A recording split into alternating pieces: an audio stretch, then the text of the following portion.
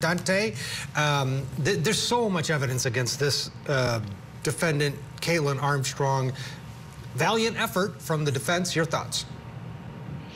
Well, the defense gave a spirited defense. You know, they did what a defense attorney, frankly, is called to do in a situation like this, in a case like this, where there's a mountain of evidence, clear indications of guilt, and you don't have uh, a straight theory that you can use other than try to throw everything imaginable at the wall, hope something sticks, and that you're appealing to just a single juror there that could potentially hang the uh, verdict. I mean, that's what you saw there. You saw a defense attorney using every little piece of uh, of evidence or contradiction or mystery and in, even in some places creating a mystery when there may not be any as it relates to what took place here. So I think this is classic defense attorney work.